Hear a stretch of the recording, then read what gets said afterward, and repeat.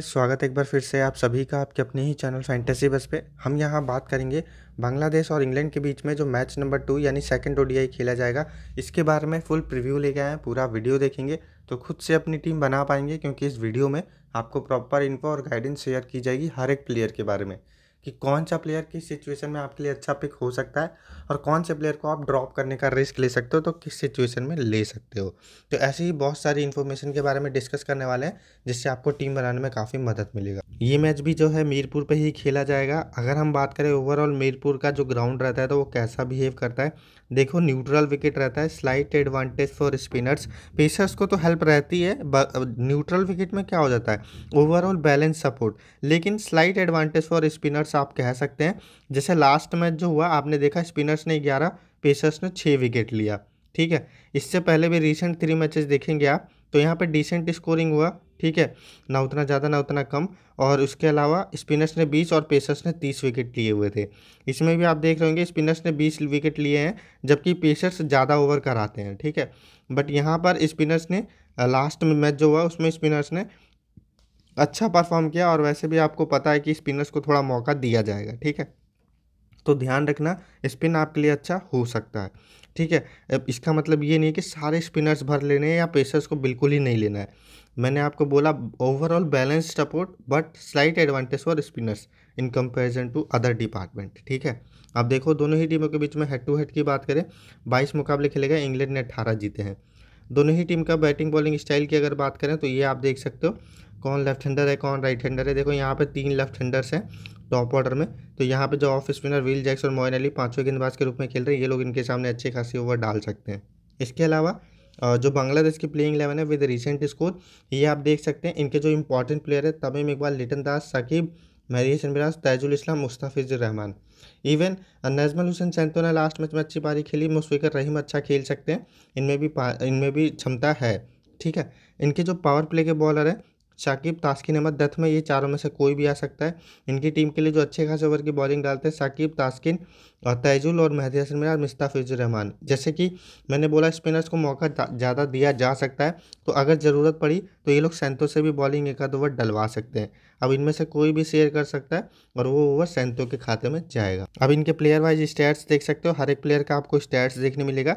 जो अच्छा स्टैट्स रखता है उसको हमने ऐसे येलो कलर से मैंशन कर दिया है। अगर आपको उसका ओवरऑल स्टैट्स देखना है तो ये बॉलिंग से और ये बैटिंग से। इस प्रकार से आप इनका ओवरऑल स्टैट्स देख सकते हो, क्योंकि ये चीज़ें आपको समझा देगा कि हाँ इस प्लेयर का स्टैट्स अच्छा है या बुरा है। और अगर आपको ये चीज़ें पता रहेंगी कि किस प्लेयर का कैसा स्टैट्स है तो जब हम आगे टीम बनाएँगे तो वहाँ पे आपके लिए और ईजी रहेगा चीज़ों को समझना। इसलिए इस पर फोकस करते हुए चलना है किस प्लेयर का कैसा स्टैट्स है, और आपको समझाने के लिए मैंने आपको ईजी जो है साइन भी कर दिया है लाइक येलो कलर से मैंशन कर दिया है। अब देखो, आपको फ्री में तीस हज़ार रुपये आज अगर जीतना है तो आप विजन इलेवन को डाउनलोड कर सकते हो। रीज़न यहाँ पे आपको डेली फ्री गिव खेलने मौका मिलता है। तीस हज़ार की जो मैंने बात की, दस हज़ार का तो जो आपका आज पीएसएल का गेम है उसमें, और जो बीस हज़ार की बात करी तो वो आपको जो कल से डब्ल्यू पी एल स्टार्ट हो रहा है, उसमें यानी टोटल तीस हज़ार का फ्री गिव चल रहा है अभी। तो अगर अभी तक आपने साइन अप नहीं किया है विजन इलेवन पे तो फटाफट साइन अप करो और गिव में पार्टिसिपेट करो, और फ्री में पैसा कमाओ। कमाने, कमाए हुए पैसे को इंस्टेंट विड्रॉल भी कर सकते हो अभी साइनअप करो वीडियो के डिस्क्रिप्शन में जो लिंक दिया है तो वहाँ पे आपको 500 का साइन अप बोनस भी मिलेगा, जिसका कि आप यूज़ भी अच्छा खासा कर सकते हो। इसके बाद लोवेस्ट एंट्री फ़ीस है लॉन्ग टर्म तक बेनिफिट मिलता है। रैंक लेस का प्रोटेक्शन रहता है, अगर रैंक लेस होता है तो वो आपको रिफंड हो जाता है स्मॉलर लीग्स में।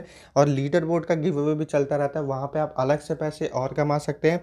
क्विक कस्टमर सपोर्ट है batting fantasy bowling fantasy reverse fantasy यहाँ पर आप अलग अलग टाइप की फैंटेसी खेल के पैसे कमा सकते हैं। तो बहुत मौके पैसे कमाने के, बस फटाफट जाओ वीडियो डिस्क्रिप्शन में लिंक है साइन अप कर लो। इसके बाद अगर अभी तक आपने जैसे आप लोएस्ट एंट्री फ़ीस यहाँ पे देख रहे हैं तो डिपॉजिट करके भी खेल सकते हैं।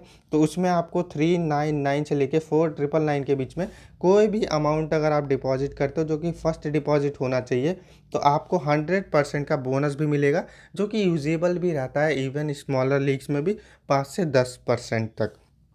कुछ एक लीग्स में तो आप लोग साइन अप कर सकते हैं। वीडियो के डिस्क्रिप्शन में लिंक दे दिया गया है। और काफ़ी लोग लाइक नहीं कर रहे हैं, जो नया फैंटेसी रूल आया है ड्रीम पे दस एक का कॉम्बिनेशन। तो काफ़ी लोग पूछते भी हैं कमेंट्स में तो आप लोग सात चार का कॉम्बिनेशन यहाँ बना के खेल सकते हैं, यहाँ पे नया रूल नहीं है। तो आपके लिए अच्छा रहेगा, यहाँ पे स्किल्स का आप ज़्यादा यूज़ कर पाओगे। इंग्लैंड के प्लेइंग इलेवन की बात करें तो ओवरऑल इनके सारे ही प्लेयर इंपॉर्टेंट हैं और इसलिए मैंने निशान नहीं लगाया बट जेसन रॉय का फॉर्म अच्छा नहीं है। फ़ील्ड शॉल्ट कैसे बल्लेबाज है, आगे बात करेंगे जब टीम सेलेक्ट करेंगे। ये सॉरी जे मलान हो गया, ये डी मलान है, ठीक है? इनका स्कोर लास्ट मैच में 114 उसके अलावा विल जैक्स ने दो, एक विकेट मोइन अली दो विकेट क्रिस वोक्स का एक विकेट, आदिल रशीद दो विकेट मार्कोड और जोफ्रा आर्चर दो दो विकेट। ये आप लास्ट मैचेस के परफॉर्मेंस देखते हुए चल सकते हो। इनके जो पावर प्ले के बॉलर है, Chris Woakes, Jofra Archer death में जॉफ्रा आर्चर मार्कोड और क्रिस वोक्स देखेंगे। और इनकी टीम से जो चार मतलब जो इनके गेंदबाज है पूरे पाँच, वो कौन कौन है? तो देखो, यहाँ पर यहाँ पे क्रिस वोक्स का भी नाम है, जिन्होंने आठ ओवर डाला था। और जो मतलब Chris Woakes, Jofra Archer, Mark Wood और आदिल रशीद इनके मेन बॉलर है। मोइन अली मेन जो स्पिनर जो कि आदिल रशीद को असिस्ट करता है, उसके बाद विल जैक्स भी है। तो ये आदिल रशीद और मोइन अली पाँचवें गेंद सॉरी मोइन अली और विल जैक्स पाँचवें गेंदबाज के रूप में खेल रहे हैं, ठीक है? तो ध्यान रखना। उसके अलावा इनके भी प्लेयर वाइज स्टैट्स देख लो। हर एक प्लेयर का आप स्टैट्स देख सकते हैं। जिस प्लेयर का अच्छा स्टैट्स है, उसको हमने येलो कलर से मैंशन कर दिया। तो आप लोग हर एक प्लेयर का स्टाइल और क्या उसका रिसेंट स्कोर है? यहाँ पर क्या उसका ओवरऑल रिकॉर्ड है? बाईस मैच के उन्नीस इनिंग में पाँच सौ सड़सठ रन। इस तरीके से आप देख सकते हैं। इसके अलावा ये ऑलराउंडर सेक्शन का स्टैट्स है, ये बॉलिंग सेक्शन का स्टैट्स है, ये आप देखते हुए चलना, ये आपको आगे चीज़ें समझने में बहुत हेल्प करेगा। इसके अलावा हेड टू हेड रिकॉर्ड की बात करें तो यहाँ पे तमीम इकबाल चौंतीस का एवरेज मुशफ़िकर रहीम बयालीस का एवरेज मोहम्मद उला थर्टी नाइन का एवरेज है ट्वेंटी नाइन का एवरेज है, साकिब का।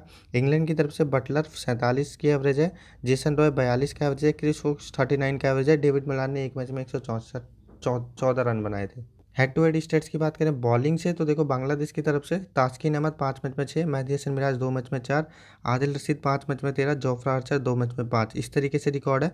मारकूट का भी रिकॉर्ड अच्छा है, दो, तीन मैच में चार विकेट है। और इस तरीके से आप हर एक प्लेयर का हेड टू हेड में स्टैट्स देख सकते हैं। अगर हम बात करें वेन्यू स्टैट्स की तो बांग्लादेश की तरफ़ से रहीम का रिकॉर्ड अच्छा है, तमीम इकबाल का रिकॉर्ड अच्छा है।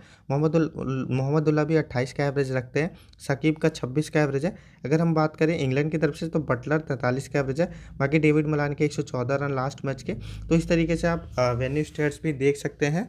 और अगर हम बात करें वेन्यू स्टेट्स में बॉलिंग से रिकॉर्ड तो देखो साकिब का रिकॉर्ड है, बयालीस इनिंग में सत्तर विकेट उसके बाद मुशफ़िकर रहीम बावन विकेट है, तास्किन का इकतीस विकेट मेहदी हसन मिराज, तैजुल इस्लाम, इबादत हुसैन और हसन महबूद इन लोगों का रिकॉर्ड अच्छा है। इंग्लैंड की तरफ़ से आदिल रशीद तीन मैच में आठ विकेट बाकी सबका डिसेंट सा रिकॉर्ड है।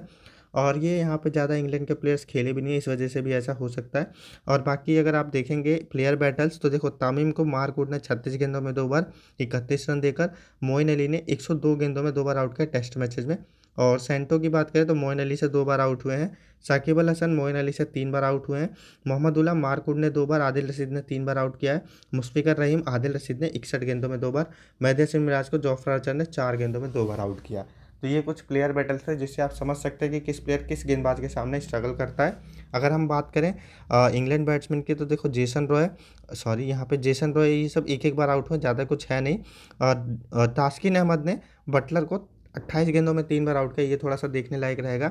इसके अलावा, यहाँ पे अगर आप देखेंगे तो मोइन अली और साकिब सॉरी मोइन अली को मेहदी मिराज और साकिब ने साकिब ने एक बार मेहदी मिराज ने तीन बार आउट किया। बाकी सब एक एक बार आउट हुए उससे ज़्यादा कुछ खास कंक्लूजन निकलेगा नहीं, जो आपकी टीम पे इम्पैक्ट डाले। अब हम चलते हैं टीम सिलेक्शन की तरफ़, देखेंगे इन सब का कंक्लूजन निकालते हुए, एक बेस्ट टीम क्या बनकर आती है। देखो गाइज़ दो तरीके से टीम बनती है, आपको पता है। एक तो दस एक कॉम्बिनेशन वाले में और एक सात चार का कॉम्बिनेशन जो दस एक कॉम्बिनेशन वाले में खेलते हैं, मैं उनके लिए भी टीम दिखा दूँगा। जो सात चार वाले कॉम्बिनेशन में खेलना पसंद करते हैं, मैं उनके लिए भी टीम दिखा दूँगा। मैं दोनों तरीके से हम यहाँ पर एनालिसिस करने वाले हैं। बस आप प्लेयर्स के बारे में सुनना, कब कौन सा प्लेयर किस सिचुएशन में अच्छा रहेगा तो उसके अकॉर्डिंग आप उसको पिक और आप नहीं पिक करना चाहते तो वो चीज़ें आप डिसाइड कर सकते हैं। ठीक है? तो बस ध्यान से सुनना। देखो यहाँ पे जॉर्ज बटलर यहाँ पर अगर फ़र्स्ट बल्लेबाजी आती है इनकी टीम की तो आप इनको अपनी टीम में ज़रूर कंसीडर करें। आ, क्योंकि देखो जब भी मौका मिलेगा मोस्ट ऑफ़ द टाइम ये परफॉर्म करेंगे। उसके बाद लेटन दास इनका रिसेंट फॉर्म काफ़ी अच्छा है। लास्ट मैच में कुछ खास नहीं कर पाए बट रिसेंटली इन्होंने कंसिस्टेंटली रन बनाया और अपनी टीम के लिए वन ऑफ़ द बेस्ट बल्लेबाजों में से एक निकल कर आए हैं। तो आप इनको अपनी टीम में कंसिडर कर सकते हो बट मैंने रहीम को इसलिए लिया क्योंकि विकेट कीपिंग बैकअप दे रहे हैं। और रहीम का इस टीम के अगेंस्ट भी रिकॉर्ड अच्छा है हेड टू हेड रिकॉर्ड भी अच्छा है वेन्यू भी अच्छा है प्रॉब्लम कहाँ पे आता है कि इनका रिसेंट फॉर्म बहुत ख़राब है। आप रिसेंट के चार से पाँच मैचेस देखेंगे तो कुछ खास स्कोरिंग की नहीं है। इसलिए मैंने इनको आ, मैंने इसलिए भी ले लिया है क्योंकि देखो एक्सपीरियंस है head to head venue record अच्छा है विकेट कीपिंग से अच्छा पॉइंट देंगे स्पिनर्स के लिए अच्छा ग्राउंड है तो हो सकता है ये अच्छा कर जाए पॉइंट्स अच्छे दे जाए। बट वही बल्ले से फॉर्म थोड़ा गड़बड़ है अदरवाइज़ ये अच्छे पिक रहता है। बट थोड़ा सा आपको पता है कि फॉर्म गड़बड़ है बट एक्सपीरियंस खिलाड़ी है तो करेंट फॉर्म कभी भी अच्छा हो सकता है। ठीक है, इसलिए इनको ले लिया। आप इनकी जगह लिटन दास को लेके जा सकते हो। फिल सॉल्ट आपके लिए अच्छे खिलाड़ी हो सकते हैं। अगर इंग्लैंड की टीम ने फुल डोमिनेट किया। बड़ा स्कोर चेज करने नहीं मिल रहा है। तो ये ईजिली स्पिनर्स को भी डिफेंड करते हुए खेल के जा सकते हैं और बड़ा स्कोर कर सकते हैं। बट अगर देख, जैसा आप ला, मैंने आपको लास्ट मैच में बोला था कि बांग्लादेश की टीम वन साइडेड तो नहीं जीतने देगी इंग्लैंड को। और आपने देखा होगा कि इनके भी विकेट्स गिरे थे। ठीक है डेविड मलान ने एक तरफ़ से एंकर करते हुए अच्छी पारी खेली थी और वहाँ पर अच्छा स्कोरिंग किया था। उस सिचुएशन में आप फिल सॉल्ट को लेके जा सकते हो और फ़र्स्ट बल्लेबाज में ये एनी टाइम हिटिंग कर सकते हैं बिग हिटिंग बट क्या है कि सात चार वाले कॉम्बिनेशन में ये लोग फिट नहीं बैठ रहे हैं. Phil Salt George Buttler Liton Das इसलिए मैंने नहीं लिया है फ़िलहाल के लिए. ठीक है? आ, उसके बाद देखो डेविड मलान ये स्पिन के उतने अच्छे खिलाड़ी नहीं है। स्पिन के सामने स्ट्रगल करते हैं। आपने लास्ट मैच में देखा होगा इन्होंने स्टार्टिंग जो लिया था तो स्ट्राइक रेट इनका बहुत कम था बट फिर भी इन्होंने पेशेंस दिखाया एंड अच्छा पारी खेला एक शतक जड़ा। तो as a safe pick up इनको अपनी टीम में ज़रूर रखें। कैप्टन वाइस कैप्टन बनाना थोड़ा रिस्क इसलिए रहेगा क्योंकि देखो स्पिन के इतने अच्छे खिलाड़ी नहीं है हो सकता है जल्दी आउट हो जाए। तो मैं कहूँगा ऑलराउंडर के ऊपर या जो स्पिन को अच्छा खेलता है, मैं आगे बताऊँगा अभी। तो उन प्लेयर्स पर थोड़ा सा ज़्यादा रिलाई करें एज ए कप्तान एज ए वाइस कप्तान अदरवाइज़ आपको सेफ़ जाना है तो जैसे लोग कप्तान बना रहे हैं, आप इनको बना सकते हैं। बट थोड़ा रिस्क रहेगा। मैं ये नहीं कह रहा हूँ कि ये रन्स नहीं बनाएँगे स्पिन को अच्छा नहीं खेलते तो। जैसे लास्ट मैच में क्या कर सकते हैं बट कप्तान बनाना थोड़ा रिस्की हो सकता है। लेकिन अगर आप सेफ़ तौर पे जाना चाहते हैं तो बना सकते हैं। नजमल हुसैन सैन तो अच्छे ऑप्शन रहेंगे क्योंकि बॉलिंग बैकअप दे सकते हैं प्लस लास्ट मैच में फिफ्टी का स्कोरिंग भी किया डोमेस्टिकली काफ़ी टैलेंटेड माने जाते हैं बट इंटरनेशनल लेवल पर अभी तक उतना अच्छा परफॉर्मेंस नहीं आया था। लास्ट मैच में फिर भी थोड़ा ठीक ठाक परफॉर्मेंस था। उसके बाद तमीम इकबाल, अपनी टीम के one of the most experience बल्लेबाज और सीनियर बल्लेबाज और कंसिस्टेंट भी रहते हैं, आप इनको अपनी टीम में कंसिडर कर सकते हो। बट मैंने जेसन रॉय को फिर से एक बार लेके भरोसा दिखाया है, क्योंकि मैंने इनका एक ओपनर लाइक फिल सॉल्ट नहीं लिया है तो मैं एटलीस्ट एक ओपनर तो लेके जाऊँ, क्योंकि हर बार ये पावर प्ले में दो विकेट शायद ही दे। और अगर इनकी टीम ने डोमिनेट किया तो हो सकता है कि जेसन रॉय अपने आप को पूरा समय देकर अच्छा खेल जाए। हालाँकि रिसेंट फॉर्म इनका बहुत ख़राब है। दस में से एक पारी में चल रहे हैं, बाकी में फ्लॉप रह रहे हैं। आप इनको छोड़ना चाह रहे हैं तो आप इनकी जगह नजमल हुसैन सैंतो या तमीम इकबाल को लेकर जा सकते हो। ये चीज़ आप कर सकते हो। या फिर आप विल जैक्स, अगर इनकी टीम फ़र्स्ट बल्लेबाजी कर रही हो तो शायद से मैं विल जैक्स को ही लेके जाऊँ, क्योंकि उस सिचुएशन में विल जैक्स मुझे सेकंड इनिंग में बॉलिंग बैकअप भी देंगे। अगर इनकी टीम से ये और मोइन अली पाँचों गेंदबाज के रूप में खेले तो। तो उस सिचुएशन में विल जैक्स मस्ट पिक रहेंगे, क्योंकि बल्लेबाजी से भी अच्छी फॉर्म में थे ऐसे टी ट्वेंटी में। अभी के लिए जेसन रॉय चेजिंग में। James Vince must pick any any time मतलब फ़र्स्ट इनिंग हो या सेकंड इनिंग हो। मस्टर पिक रहेंगे कंसिस्टेंट स्कोरर है टेक्निकल बल्लेबाज है, और अभी ऐसे टी ट्वेंटी में भी अच्छा फॉर्म था। पीएसएल में भी एक आध मैच खेला, उसमें भी अच्छी फॉर्म थी। उसके बाद मोहम्मदुल्ला ये थोड़ा सा नीचे आते हैं, इसलिए थोड़ा सा इनका दिक्कत रहता है कि कितनी बल्लेबाजी मिलेगी, नहीं मिलेगी। बट जब भी बल्लेबाजी मिलती है मोस्ट ऑफ़ द टाइम ये आपको परफॉर्म करते हुए दिखेंगे। आफिफ हुसैन रिसेंटली इनका ऐसा हो गया था कि इनकी टीम से मोस्ट ऑफ़ द टाइम यही परफॉर्म कर रहे थे बट यही प्रॉब्लम रहता है इन लोगों का कि थोड़े से लोअर मिडल ऑर्डर के बल्लेबाज है तो कितनी बल्लेबाजी मिलेगी, नहीं मिलेगी, वो कहना बहुत मुश्किल है। हालाँकि इंग्लैंड की टीम स्ट्रांग है तो बल्लेबाजी आना तो ऑलमोस्ट तय है तो अगर आप लेना चाहो तो ले सकते हो बट मेरे पास ऑलरेडी कोटा पूरा हो चुका है इन प्लेयर्स का और प्लेयर्स का, इसलिए मैंने अपनी टीम में इनको सेलेक्ट नहीं किया, क्योंकि इनसे अच्छे ऑप्शन भी मेरे पास अवेलेबल हैं।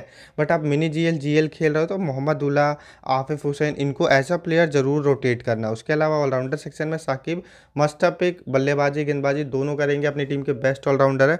इसके बाद मोइन अली पाँचवें गेंदबाज के रूप में खेल रहे हैं, गेंदबाजी भी करेंगे, बल्लेबाजी से भी अच्छी परफॉर्मेंस कर सकते हैं। अगर फ़र्स्ट इनिंग में बल्लेबाजी आती है तो मेहदी हसन मिराज अपनी टीम के साकिब के बाद दूसरे मेन स्पिनर और बल्लेबाजी भी करते हैं गेंदबाजी के साथ। तो मस्टअप पिक रहेंगे दोनों के दोनों चाहे साकिब हो, चाहे मेहदी मिराज हो। क्रिस वोक्स देखो जैसे मैंने आपको बोला कि यहाँ पे आप जेसन रॉय की जगह अगर विल जैक्स को नहीं ले रहे आप सेंटो या तमीम इकबाल को ले रहे हो तो उस सिचुएशन में मैंने यहाँ पे तैजुल इस्लाम को लिया बॉलिंग सेक्शन में। उनको निकाल के आप यहाँ पे क्रिस वोक्स को ले सकते हो। इस तरीके से आप इंग्लैंड के पाँचों बॉलर कवर कर लोगे ठीक है?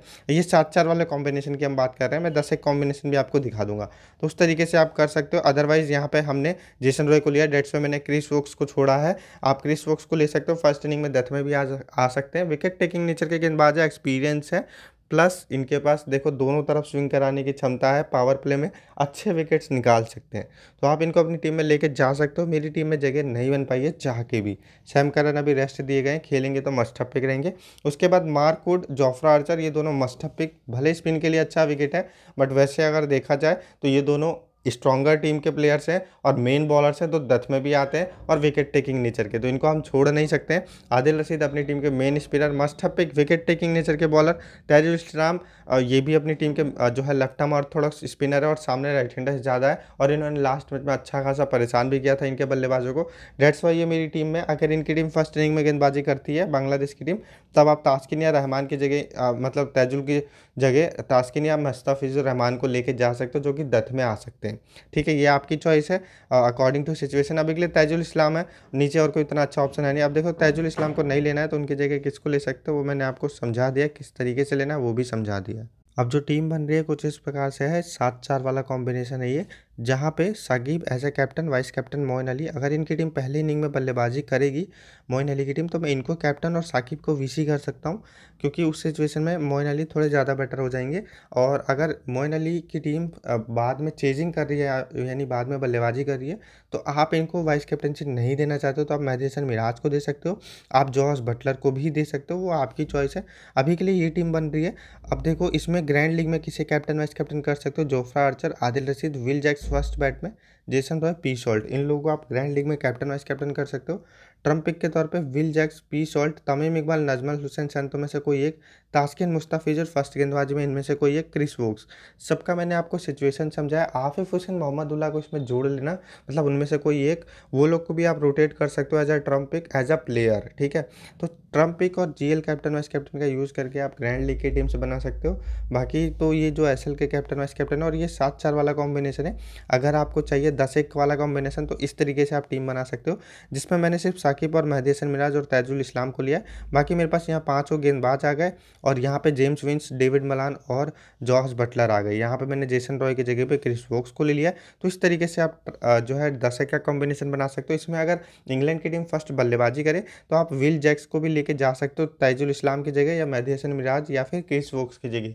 किसी एक की जगह विल जैक्स को भी लेके जा सकते हो। तो इस तरीके से आप इसका टीम बना सकते हो। बाकी ये सात चार वाला कॉम्बिनेशन तो होप करता हूँ आपने इस वीडियो से काफ़ी कुछ सीखा होगा सीखा होगा तो लाइक ज़रूर करना। और इन टीम्स में अगर चेंजेस होंगे तो मैं आपको टेलीग्राम पर ही इन्फॉर्म करूँगा बिल्कुल फ्री में। तो टेलीग्राम से जुड़ जाओ, जिसका लिंक आपको इस वीडियो के डिस्क्रिप्शन और कमेंट सेक्शन के सबसे पहले कमेंट में दे दिया गया है। होप करते हैं, आपने काफ़ी कुछ सीखा होगा। अब मिलते हैं अगली वीडियो में, जब तक के लिए जय हिंद।